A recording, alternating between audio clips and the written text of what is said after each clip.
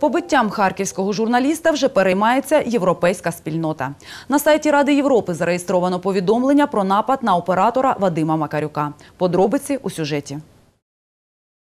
Оператор служби новин «Вісті» Вадим Макарюк постраждав під час зйомки конфлікту на території ТЦ Барабашова ввечері 7 червня. Його побили та пошкодили відеокамеру, забрали картку пам'яті. У чоловіка стався крововилив у мозок. Він пережив інсульт. 11 липня на платформі Ради Європи для захисту журналістики і безпеки журналістів зареєстрували повідомлення Європейської та Міжнародної федерації журналістів про напад на Макарюка. Категорію визначили як атака на фізичну безпеку та недоторканість журналістів. Рівень загрози цьому нападу названий першим, а джерело погрози невідоме.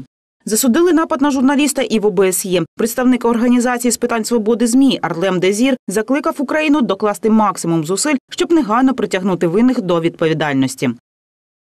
Я засуджую напад і побиття Вадіма Макарюка і закликаю владу зробити все можливе, щоб оперативно притягти винних у цьому нападі до відповідальності. Напад на журналістів через їх роботу неприйнятний і не може бути терпимим.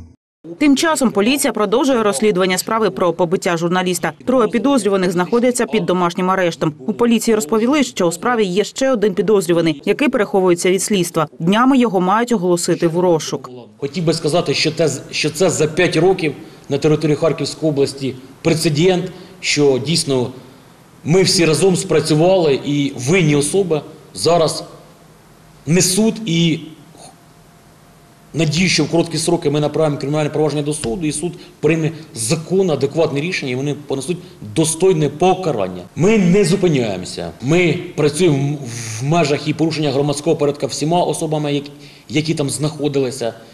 І я думаю, і в подальшому будуть винесені підозри е, іншим учасникам, які вчиняли правопорушення, в тому числі не тільки кримінальні, але й адміністративні правопорушення.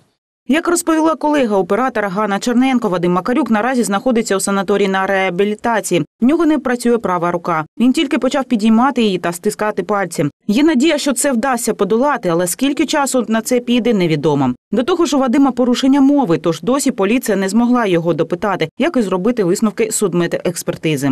Оксана Кириченко, вечірні новини.